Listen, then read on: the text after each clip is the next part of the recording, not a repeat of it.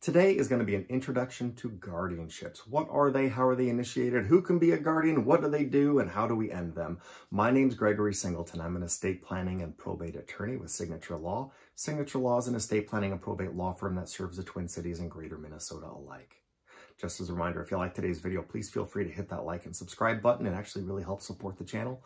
Also, two caveats before we get going. First of all, uh, this video is for educational purposes only. I'm not giving legal advice. And second of all, we're going to be talking about Minnesota law and statutes specifically in this video. So if you're in another jurisdiction, the law may be dramatically different.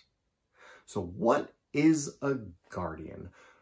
Very simply, a guardian is a person appointed by a court to manage another person's health and bodily autonomy when that other person is unable to do so for themselves. The legal definition is under Minnesota Statute 524.5-602D. Essentially, it's a person appointed by the court to make decisions regarding the person of another adult. And a person, in quotes, generally is the individual's health and bodily autonomy.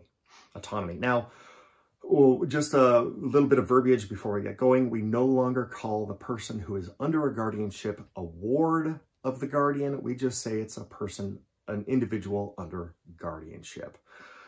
Now, what does a guardian do? There's a lot of things a guardian can be responsible for. They're under Minnesota Statute 524.5-313. They can establish the uh, place of abode for an individual, to provide support and care, uh, and maintenance for the individual. They can uh, do property maintenance. They can do medical care and consent for it. That's kind of the big one, consenting to medical care and making medical decisions when there's no healthcare agent. If there's no conservator, they can take on certain conservator duties. They can form able accounts for the individual. Now, there are a lot of uh, limitations. Uh, the primary one, primary one being that a court order establishing the guardianship will establish what authority the guardian has. Now, there are certain things that a guardian cannot do. For instance, they cannot restrict visitation, interaction, or communication with others. We're not there to control the life of the person. We're there to support and make certain decisions for them. Also, you can't uh, restrict uh, an individual's right to vote unless it's by order of the court. There's a number of other things, for instance, specific medical procedures that also require order of the court. Now, while someone is under a guardianship, the guardian is required to make a whole lot of reports to the court on a regular basis, or either on a regular basis or when certain events happen. Uh, the court maintains broad jurisdiction. Specifically, quote, a guardian shall be subject to the control and direction of the court at all times and in all things, end quote. The guardian is essentially working as an agent an appointed agent of the court to fulfill their duties. Now, how is a guardianship initiated? Well, it, it's initiated by petition of the court. This is a court hearing. It may be contested, uh, where the person that is maybe subject to guardianship says, I don't need the guardianship, or the person that's subject to guardianship may be unable or unwilling to contest. Now, to establish uh, a guardianship, the petition by a person interested in the welfare of the individual under guardianship, uh, the court has to have proven to them by clear and convincing evidence two things.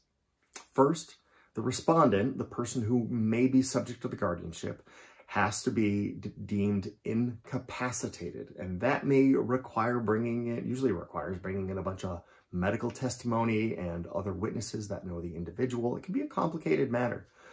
Uh, it also requires, under proof of clear and convincing evidence, that the individual's needs cannot be met by less restrictive means. So what does less restrictive means entail? That could be anything from technological assistance to community and residential services to health appointment of a healthcare agent or to uh, supported decision-making. And we're going to have another video on supported decision-making. It's, I would say, new, but it is relatively new to Minnesota and what that can mean. So who can be a guardian? Well, first of all, it's under the court's discretion.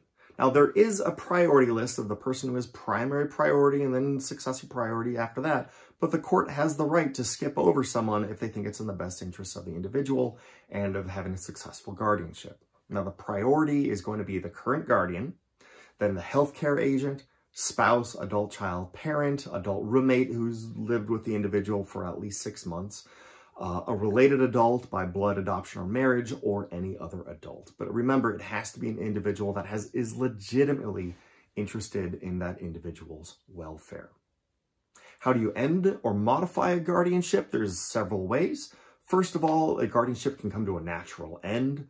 Uh, the person under guardianship can die, then the guardianship obviously ends. It can expire. Perhaps the order of the court establishing the guardianship says this guardianship will exist for three years only, and at the end of three years, it will naturally expire. Or if the court has reason, perhaps they're looking at the reports uh, presented by the guardian, the court can say, you know what, on order of the court, the guardianship is terminated or modified.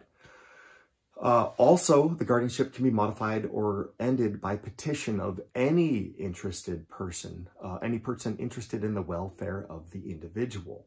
That can be to modify the guardianship to either increase the duties of the guardians or to make them less restrictive or just to entirely end it.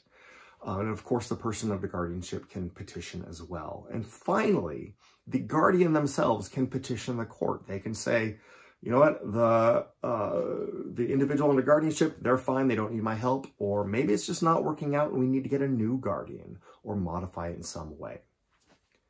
So that's a brief introduction to guardianships, the laws surrounding the, their creation, the formation, who can be a guardian, what is it, etc. I hope you liked today's video. If you did like today's video, please feel free to hit that like and subscribe button.